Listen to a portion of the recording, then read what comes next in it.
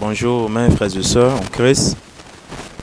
J'aimerais demander à mes frères qui m'écoutent de beaucoup prier pour la République centrafricaine, surtout pour la venue du pape et pour, pour que la paix règne dans le cœur de tout un chacun, qu'il soit chrétien ou musulman. Merci.